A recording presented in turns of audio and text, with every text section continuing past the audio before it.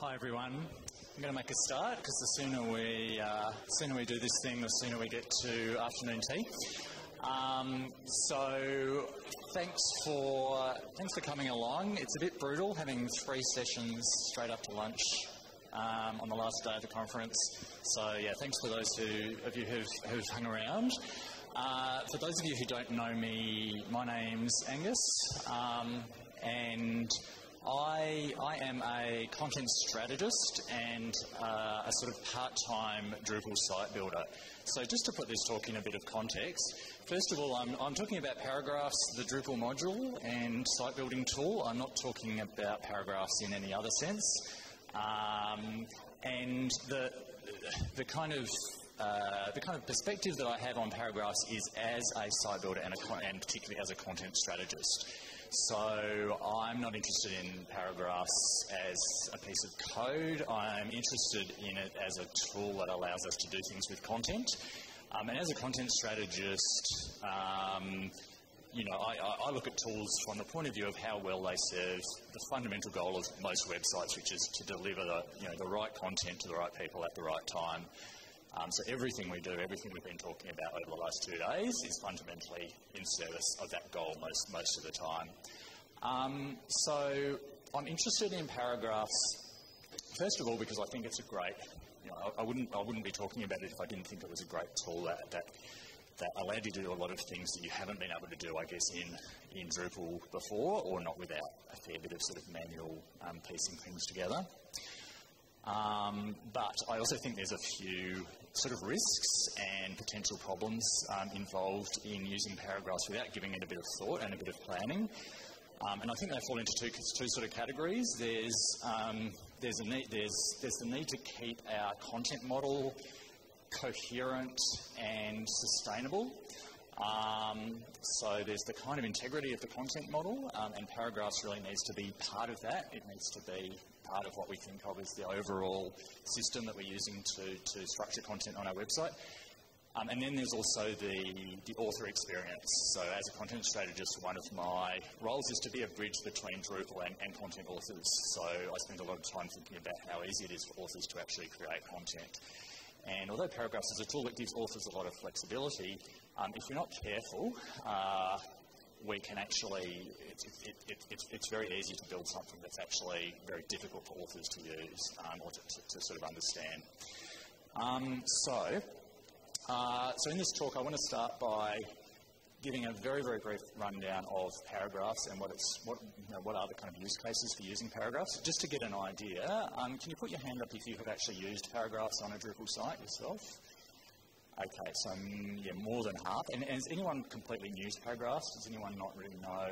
Okay, so there's a few people. So this will be for, mainly for your benefit, but it will be brief. Um, if you want more, if you want a sort of a more detailed introduction, I'm sure there's lots of sort of videos, and I know the guys from Morpht um, did a talk at Drupal South last year, which is um, yeah, probably still available. Um, and um, know, that was a kind of introductory talk. I, I, feel like in sort of since that happened around March last year, Paragraphs has really sort of become embedded as a standard part of the Drupal toolkit. So a lot of people are using it. A lot of people are doing really interesting things with it. A lot of developers are taking it in interesting new directions.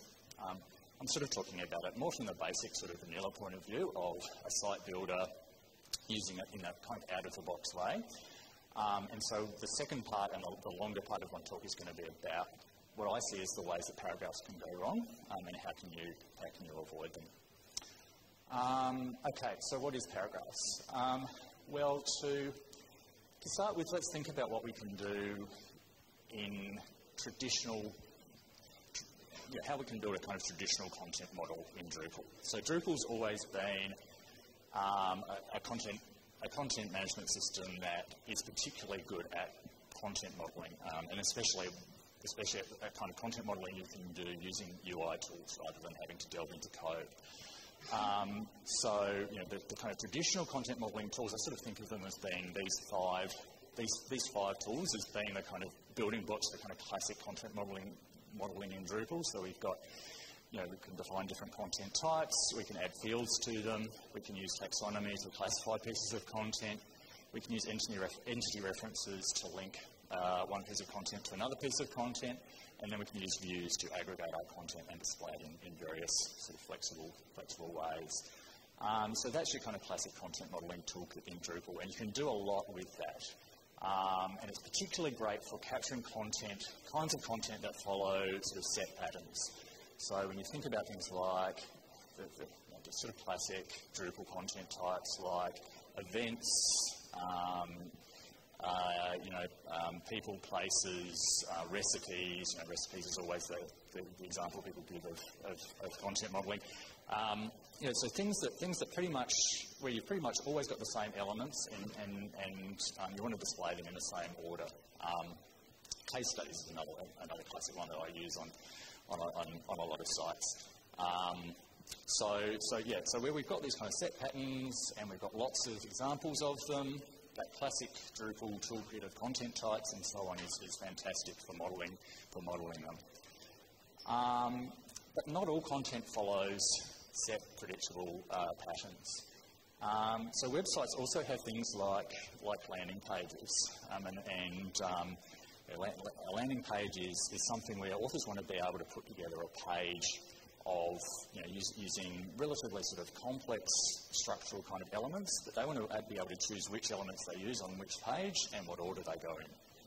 Um, home pages, which are really just a, a, a, sort of a special case of a landing page. Um, you know, home, home, home pages, um, um yeah, the, the, problem we always have with home pages, especially in Drupal, I think, is that we, we hand over a, design for a home page, we build the home page and give it to give it to the content author, and they come back and say, okay, well this is great, but how do we change things on this home page? And often we haven't really got a good answer for that. Um, long form articles. So I'm thinking about the kind of articles that might, article that might have um, know, a video, um, maybe an infographic, maybe a, a, sort of an audience poll, um, and an image gallery um, kind of inserted in the body of, body of the article. Again, um, again, the authors want to be able to choose where they're putting those things. So we've always been able to give authors a video field on an article content type, um, but in classic Drupal, we had to we had to choose one place where that video field goes, like every article. Um, and authors might not want the video to be displayed at the beginning of the article; they might want it to be in the middle um, and any kind of multi-part sort of content. So if you think of any of those kind of long scrolling pages that you see everywhere on the web these days, um, maybe with some kind of in-page navigation, so things like you know annual reports, um, sort of sales pages, um, any of these kinds of content where um, authors basically want to be able to put together a piece of content out of building blocks. They're all things that aren't, aren't very well um, catered for by the, the kind of classic content model. Um, and the typical solutions that we've given authors in the past, you know, range from the very old-fashioned idea of doing a layout in a body field, so, you know, just use tables. Um, it's really easy. Um, the, the, the, uh, the, big bunch of blocks, so, you know, putting a page together out of blocks, um, and, you know, panels is obviously a, a, solution that we've given people to have a certain amount of flexibility in the, the way they arrange a, a page. But there's a number of problems, I think, with, um, with all of those solutions. Um, and the fundamental one for me is that the web is moving in, in a sort of different direction than, than the way that a lot of, than, than the kind of, um, that, you know, the kind of thing that, that, that, a lot of those solutions were defined for. So if you think of, of sort of a lot of those classic Drupal um, solutions, they rely on the idea of regions and you know, a page having kind of fixed regions. So you have the old the page, you've got a region up the top, then you've got a left sidebar and a main content area and a right sidebar and then a footer down the bottom. Um, and every page is going to have the same set of regions. That's the kind of classic sort of Drupal model of how a page layout works. Um, but you know, the, the, web these days is moving much more towards these kinds of um, these kind of layouts where, um, where pages are essentially a sort of a flexible sort of stacked collection of elements. There's really just one big column, but within that column you've got sort of slices that, depending on the device that you're looking at, you know, might, might, be, um, might be divided into columns or into a grid. Um, but they'll also adapt to you know, mobile devices. So essentially, once you get down to a, to a smartphone, um, everything you're looking at is going to be in, in, in, sort of one big column. Um, and those traditional Drupal solutions don't really, don't really cope well with, with that kind of structure. Um, so into paragraphs. So paragraphs is a contributed module. Um, it's available for both Drupal 7 and Drupal 8. Um, I've mainly used it in Drupal 7, although the, the screenshots I'm going to be showing you are from a Drupal 8 um, sort of demo installation. Um, but um, you know, it's, it's, it's, available for both. There are slight differences between the two. Um, so what is paragraphs? Well, in Drupal terms, paragraphs basically creates a, a new entity type. Um, and it's a type of entity that is specifically designed to be created and embedded within other entities. So it's essentially a paragraph is an entity that only exists within another entity. Um, so that's a kind of technical Drupal way of explaining it.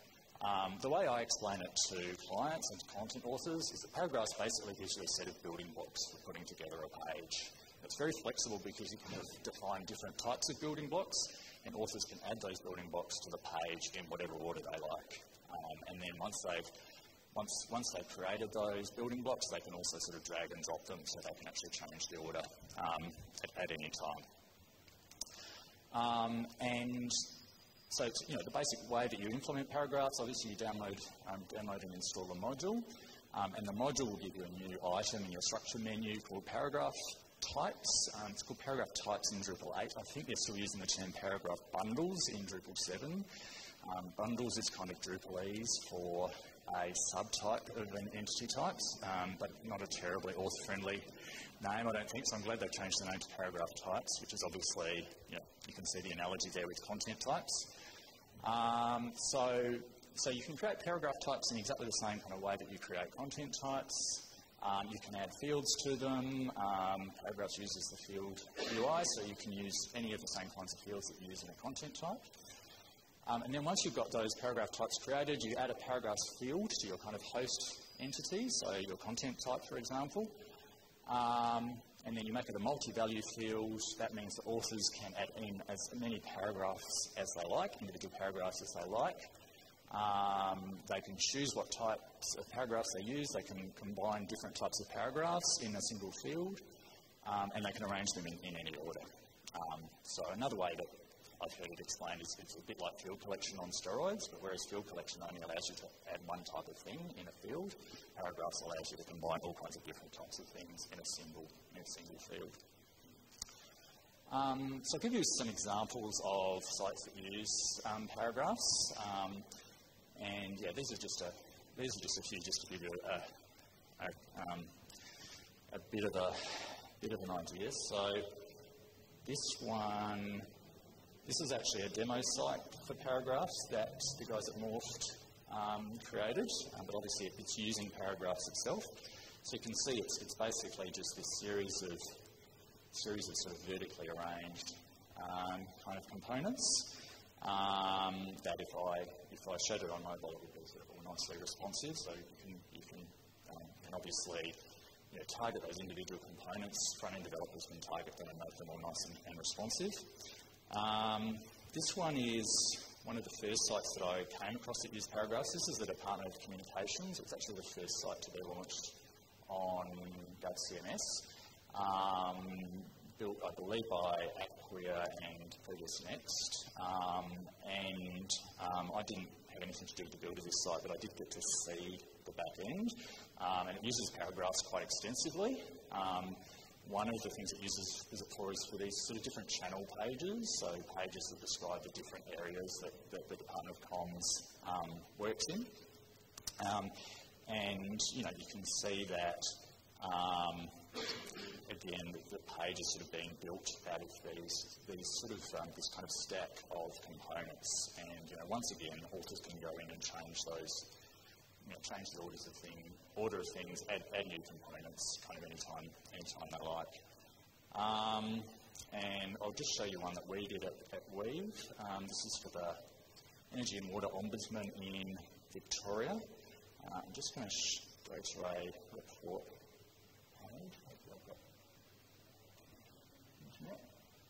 Um, so we, we sort of created this report content type because this, this client had a lot of reports that were that consisted of sort of multiple multiple sections that were a mixture of different kinds of things. So they had the, they had things like this that was sort of huge, great infographics, but they also had sections that were text. They had this standard section called the Ombudsman's View, which is in every every one of these reports.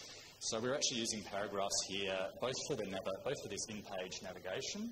Um, this is uh, we're sort of using two levels of paragraphs. So the top level controls the navigation, and then uh, there's a level, um, a sort of a nested level of paragraphs that, that contains the actual content.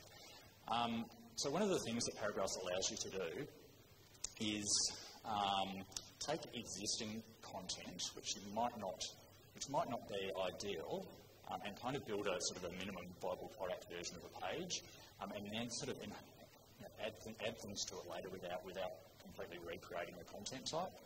Um, so in this case, you know, eWOV has these ridiculous, um, huge. This is this, this entire section is one big image. Um, which is obviously less than ideal from an accessibility point of view and from a responsive point of view. Um, and we're really encouraging them to rethink the way they publish these kinds of reports. But they had a whole lot of existing, they had a backlog of existing content. So what we could do is we could say, well, we're going to use we're going to use this system, and we're going to we're going to include a paragraph type that allows you to just dump in one of these big infographics. But then we're going to work with you on a better solution later on for publishing this kind of data, and that could be almost anything. It could you know, right up to you know, full-on proper sort of data visualization using data from some kind of back end. Um, and Paragraphs actually allows you to do that because we, we know that we can just create a new paragraph type for whatever, for whatever solution we come up with in the future, rather than having to go in and rebuild the entire content type. Um, okay, so that's some examples.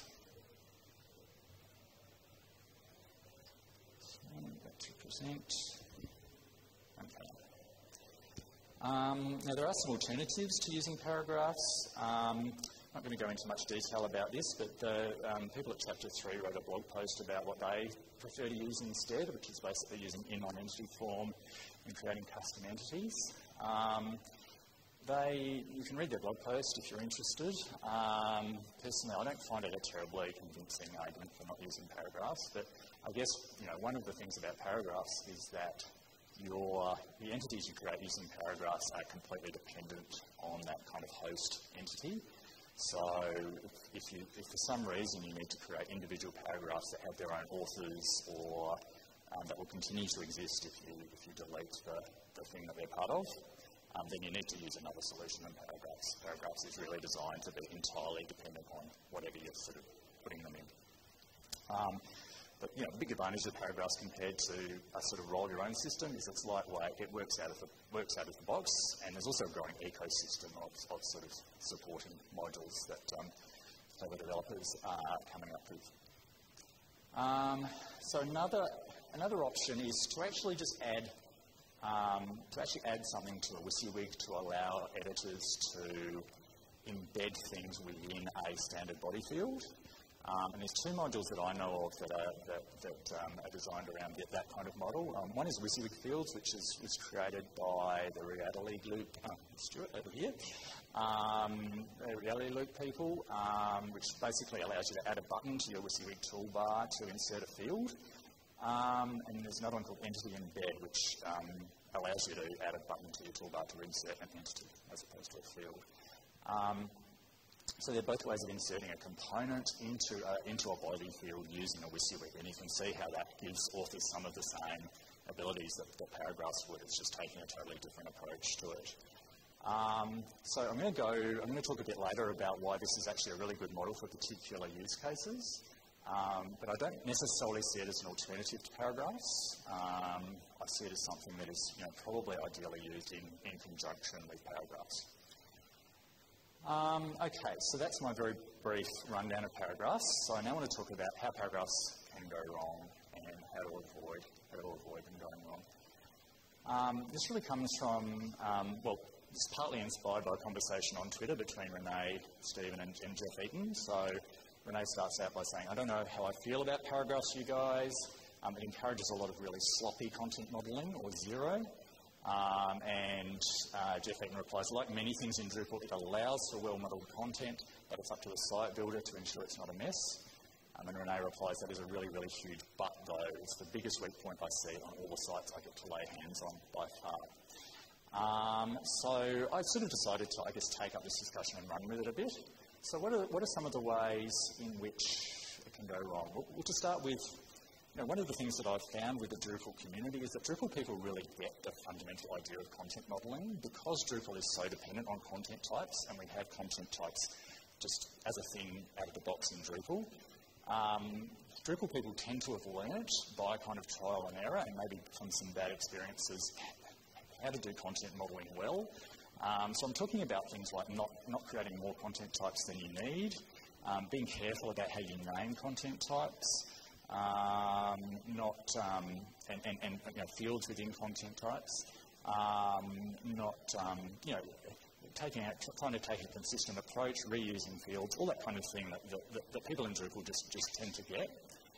Um, but I have a feeling that, that, as a community we need to relearn some of those principles for paragraphs. Um, and I think there's five particular ways in which either I've, either I've seen paragraphs go wrong or I can see the potential for paragraphs to go wrong. Um, and they're to do with poor naming. It's probably, um, you know, if there's, if there's, one thing, um, one thing I'd, you know, I'd, like people to take away is the importance of, of, of good naming when, when we're, when we're um, creating par- um, paragraph types. Lack of planning, so really, just an ad hoc approach, creating paragraph types just, just, just as we need them. Uh, mixing content and presentation, um, issues with the editing interface, um, and excessive complexity. Um, so I'm going to go through sort of what I mean by, by each of those. Um, so first of all, poor naming. Uh, well, let's start with the name paragraphs itself. Uh, let's be honest, it's a terrible name. Um, there's actually an issue on the, uh, on the module page where somebody's trying to convince the, the, the, guy who created the module to change the name and he won't have a bar of it. Uh, but it is a terrible name because we already have two at least two things in, in, you know, in the world outside Drupal called paragraphs. Uh, we have an HTML element, uh, things that are enclosed in p tags are, par- are paragraphs. We also have a unit of language, um, and um, you know, we know what a paragraph we know, we, we know what, a, what, what, a paragraph means in the everyday world. Um, so for Drupal to come along and say, well, we've got this new thing called paragraphs, just causes a lot of confusion. Um, so, you know, let's, let's accept that we can't change the name of the module at this stage. Um, although if anyone wants to keep up that fight, um, go right ahead. Maybe, maybe when it gets into core, um, you know, um, someone will, will change the name. But, but let's at least hide it from authors. And this is you know, one of the things that I've always found endearing about Drupal is that it will come up with this very um, um, sort of weird jargon, but then it's almost like there's an unconscious unconscious kind of acknowledgement that we need to hide it away from authors. So you know, that's why we have an add content button, not an add node button, for instance. Um, so paragraphs actually allows you to do this in a really nice, flexible way. Um, within, the, within the settings for how you display paragraphs, when you're adding a paragraph field to a content type, um, you can actually change the what, you know, um, what you call paragraphs, um, so how you present paragraphs to authors. So I will always go in and change that to something like um, you know, sections or components. Um, you could use chunks. Know, anyone, anyone used anything, anything else?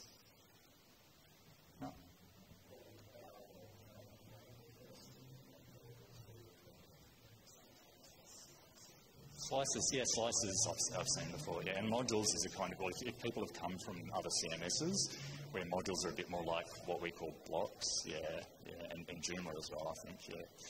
Um, okay, so that's that's one thing to me. That's that's a basic part of any kind of par- paragraph setup. Don't call them paragraphs to authors.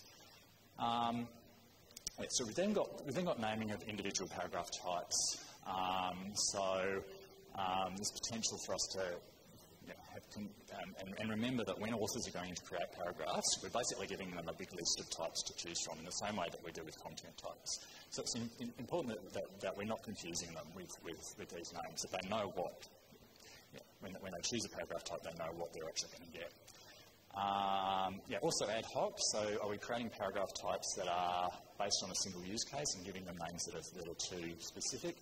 Um, or giving the names that are coupled to presentation. And I'll talk about, I'll talk about these, these things. Um, you know, these are related to sort of other issues that I'm going to talk about. So, so rather than spending a lot of time on them now, I'll move on to those, those other issues. Um, so, okay, lack of planning. Um, so, you know, because paragraphs is um, has, has kind of been well, something that we sell to clients is something that's going to give them a lot of flexibility. And, and um, there's, there's, almost an implicit promise there that whatever they want to do, whatever weird kind of little content structure they want to add to their pages, we can, we can make it for them. Um, so I think if we're not careful, that can lead to a real mess of kind of ad hoc um, paragraph types. So, so you know, um, we're, creating, we're creating a paragraph type for a single use case because some content author insisted they, that they wanted, um, you know, one particular thing on one page. Um, or, or, or, paragraphs with too many similar sounding names. So we've got one called a highlight box and one called a highlight area and one called a, um, you know, a highlight um, grid or something like, something like that. Um, can lead to a lack of, just, just an overall lack of discipline. So just, just a feeling that our paragraph types are kind of getting away from us. Uh, in a way, the content types, you've all seen bad Drupal sites where this happens with content types, right? They've got 500 different content types, um, some of which are some of which are created for single pages, yeah, um, and, and, just over, over complexity. Um, so, what's the solution? Well, the solution is to plan our paragraphs in the same way that hopefully we plan our content types. Um, so what that means is, um, when we're looking at our, whatever our process is for planning our content types, um, and for me it's always basically an audit of, of existing content, we need to be looking at that content not just from the point of view of what types of content do we have, but also, you know, is this the type of content that could benefit from paragraphs? And if so, what are the components that we might need as part of this um, content type? Um, and then putting some guidelines in place. So we're not blocking off, we don't want to block off the possibility of creating new paragraph types because that is one of the cool things about paragraphs. But let's put some guidelines in place and let's make a new paragraph type in its place. So let's not say we're going to create a, new paragraph type every time a content author asks us to. Um, let's actually set some criteria for, um, for when a new um, for when a new paragraph type you know, gets, gets, its, gets its Guernsey. Um, so it's really a governance, it's really a content governance issue. Um, okay, so that's planning. Mixing content and presentation, and I could easily give an entire talk about this, um, but this is going back to the idea that entities in Drupal are content, and content, a, a piece of content is not a page, it's a, it's, it's, um, it's, it's what pages are created from. Um, so just as Drupal developers um, like to separate content from con configuration, those of us in the content strategy world are obsessed with separating content from presentation. Um, and the reason for that is that as we move to, as we move to a, a more decoupled world, where we want to have things like headless, headless Drupal sites, where the content lives in one place uh, and the front end of the site is created in another place, or that kind of idea of, the, of content, of a content API, where we want to be able to distribute our content to various different places, um, the, the, it, it, becomes more and more important that we're not storing our con content in a way that presupposes a certain form of, of presentation. Um, and what that means is, um, and I'm sorry to say this because I have, I, I, do seem to be seeing this a lot, that people will create, people will, people will um, treat paragraphs as a way of creating layouts. Um, whereas if we're serious about, you know, paragraphs are part of our content, they're not part of our layout system. So if we're serious about this idea of separating content from presentation, what we want to do is treat paragraphs as semantic structures, not as, not as layouts. Um, and that can be as simple as, again, a naming issue. So, for example, so, so, so you know, it can just be a matter of avoiding that kind of presentational logic when we're naming um, paragraph paragraph types or, or paragraph bundles and their fields. Um, so if we, if we want to call a, a, a paragraph type something like a three-column promo grid, maybe we call it a, a three-item promo section instead, you know, something that's agnostic about how it's actually going to be displayed. Um, text beneath image could become text associated with image. Um, blue background text box, high, highlighted text box. That way, when someone comes in, when, when, when the client's brand colours change and they can't use blue anymore, um, you know, we, we, uh, we can just change the CSS and it doesn't matter. Now, this stuff is important because every time you name something, you are giving authors an expectation that that's how they're going to work.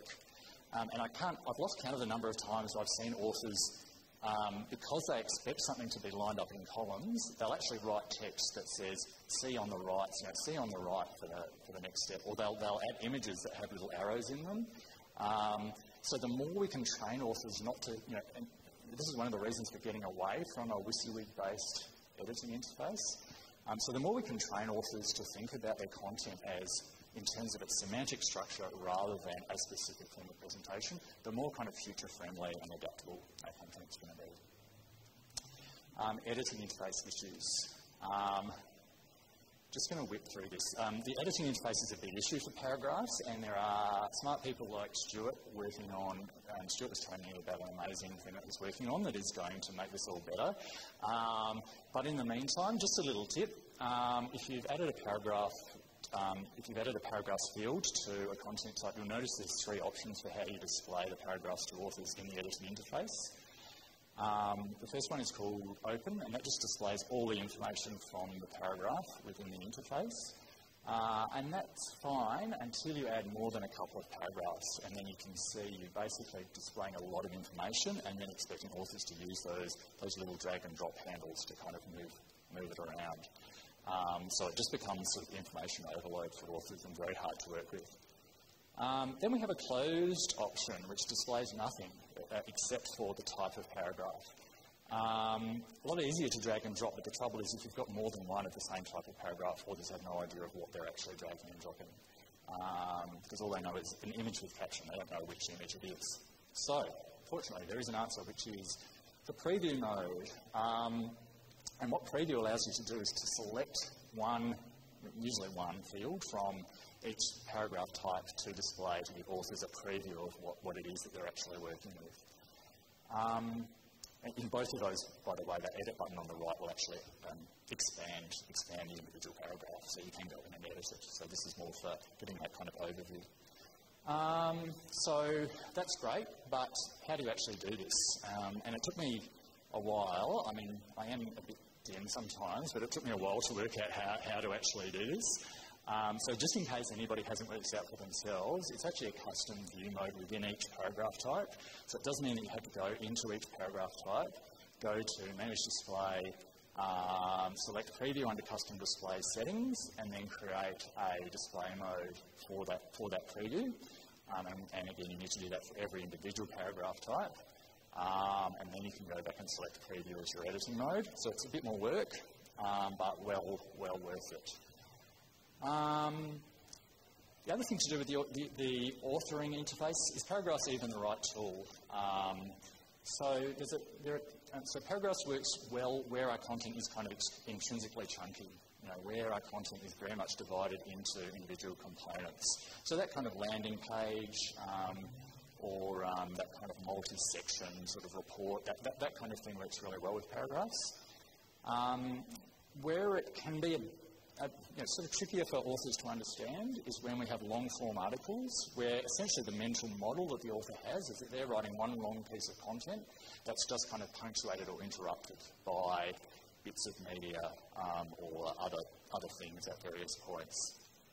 Um, so, so, so really we, what we've got is a single narrative that just happens to be, have, have you know, things kind of scattered through it.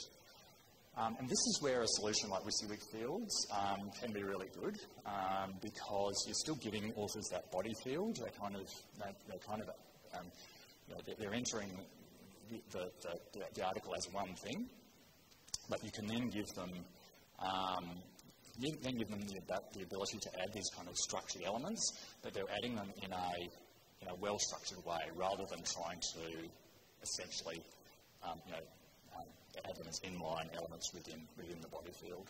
Um, so um, something like WYSIWYG fields in combination with paragraphs, because WYSIWYG fields allows you to add any kind of field, including a paragraphs field. So I think the two can, can work together really well for, for use cases like this. Uh, excessive complexity. Um, so we've already already talked about the example of having, just having too many paragraph bundles. You know, every extra kind of thing you create in Drupal creates an extra cognitive load on authors. It's more complexity. Uh, but another thing Paragraphs allows you to do is to nest paragraphs within paragraphs. Um, and really, really easy to create something like this. Um, so, um, yeah, uh, call the hall of mirrors in paragraphs. Um, so I think a certain amount of controlled nesting is fine within paragraphs, and we've used that, we use that ourselves in that EWOB example. Um, but really important that, that you go in and then limit the amount, the, the specific paragraph types that are that authors can add within each field to actually prevent them from doing that kind of infinite, um, infinite recursion that that, that, that you saw in that example. Um, so, so yeah, so again, it's a bit of extra work because you do have to go into every every field where you've added paragraphs and and and you know make a decision about what paragraph types you're going to allow. But it, it, it, you know, it's, it's, worth it to avoid authors from getting into, into all kinds of trouble. Um, so, yeah, so that's my thoughts about how paragraphs can go wrong and how we can, how, we can, avoid that. Um, I guess what I'd like to conclude on is um, I'm, I'm really, you know, as a content strategy person, I've been really pleased to see over the last probably the last couple of years how seriously the Drupal community has started to take author experience. Um, and you've seen lots of leadership from people like Dries on this. You've seen lots of initiatives that are to do with making the authoring interface better. Obviously, Drupal 8, this is a really high priority in Drupal 8 overall. So, you know, as someone who works with content authors a lot, um, I think this is fantastic and I'm really grateful for it. What I'd like to see is that we make paragraphs part of that effort, um, that we don't get carried away by the flexibility that paragraphs offers authors um, and end up just giving them too much complexity. Um, so that's my thoughts. Thanks, thanks everyone.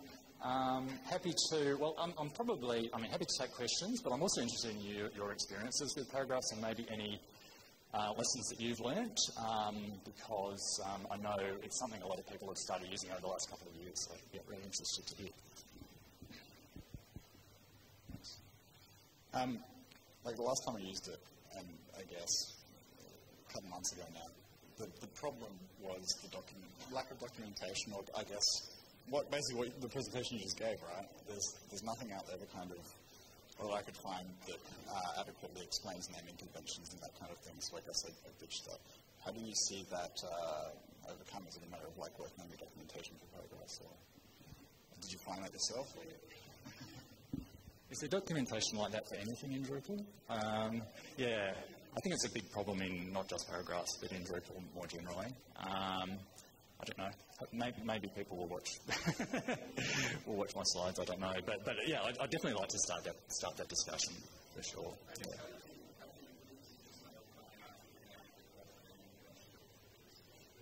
Yeah, I don't even think we've got this right ourselves. A lot of what I'm saying is, a lot of what I've been saying here is stuff that we've done ourselves, just because we've, it's, it's something new and it's like, um, we, you, you, know, I got so excited when, when, when, I, when someone explained the concept of paragraphs to me. It's like, oh my god, eureka! This is exactly what we've been waiting for. Um, so I think there was an initial kind of over exuberance, and you know, I also have a habit of building completely ridiculously over engineered content models as well because I'm a content modeling geek. So, um, you know, if, if, there's a content modeling mistake out there, I've, I've, definitely made it, and I don't think paragraphs are any exception to that. In terms of naming conventions, I mean, what I was saying about separating content from presentation, there's, there's a kind of there is a tension between that and clear naming because it's obviously it can be easier for authors to understand a name if they know um, if you do give them a bit of presentational information in the name. Um, so I sort of recognise that I'm in a way recommending two different, you know, two slightly conflicting things, and, and it is about finding a compromise. Um, and I do think that the, the idea of separating content from presentation is an ideal that we're never actually going to reach um, because content and presentation just are inherently mixed up. Um, but, but it, I do think it's something we should be aware of and we should be asking ourselves, especially when we say this is a three column thing. Um, well, most, more than 50% of visitors to a lot of our websites are now doing them on mobile phones. And they're never going to see that three column thing as a three column thing. So if we're taking a mobile first approach, what we should really say is, well, this is a three, this is, a, this is three items that, you know, for, or for users who have the luxury of viewing this on a big screen, they'll get to see this as three columns. But most of our users actually won't. Um, yeah. You don't. You're trying your, yeah, yeah. You have, well, There's, a, there's obviously a lot of training for authors involved as well, yeah. But, but naming's a good start. If you can avoid giving something a name that's going to make an author assume that it's going to be displayed in a certain way, that's a, a good start.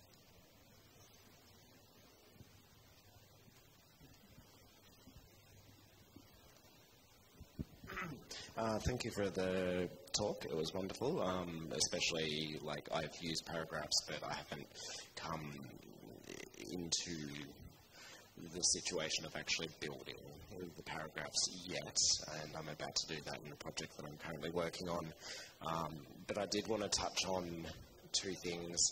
One is, as you said, there's something that I've got in the pipelines. It's not something that I've started developing yet, but it's an idea I've had over the last few months, which is basically the MailChimp experience for paragraphs. It's like a, a list um, of drag and droppable items of like these are paragraph types that we would like to use, drag them onto the actual preview of the page and give that experience. Like you will get to see what you're building, um, and you like it, the whole field system, the drag and dropping of fields, the Drupal field system, full stop. It's it's archaic and it's it's not a good experience for users. So, I mean, that's one of my major issues that I've seen.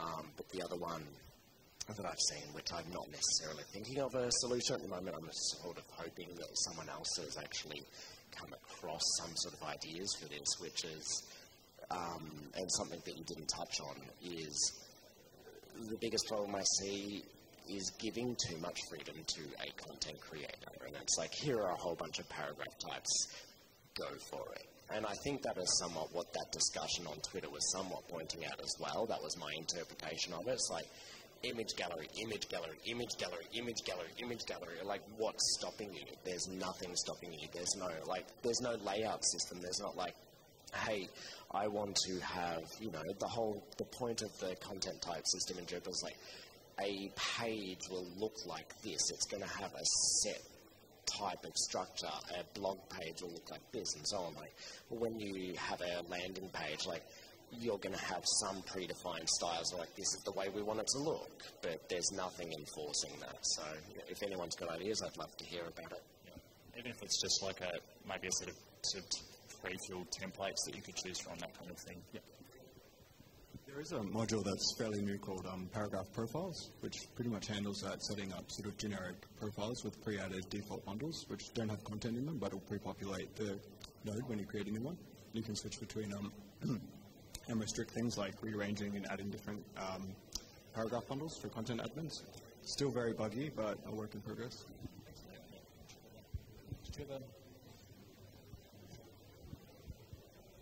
Um, so we've actually combined the paragraphs with that um, sort of reusable elements as well, like inline entity form and a custom custom entity type, um, and then made a paragraph type that is a reusable thing. So you can include sort of like a call to action in the middle of your pages as well. So I thought that was that was interesting to work on. Yeah. Thanks, Ricky. Yeah, I mean, yeah, I mean the possibilities are endless. You can you can obviously include block, you know, block references within paragraphs would be another way of doing something similar. Um, another thing we use paragraphs for a lot is, is, is views. Um, so just creating a paragraph type, which is, which is essentially a view field, um, just to allow authors to, or not necessarily authors, because authors don't seem to work a lot with views, but to allow us to have flexibility about where we actually put a view on a page. Um, so yeah. I think we're almost out of time, and it's, yeah, I'm sure everyone's uh, ready for afternoon tea. So happy to continue the discussion more informally, but thanks everyone for, for coming.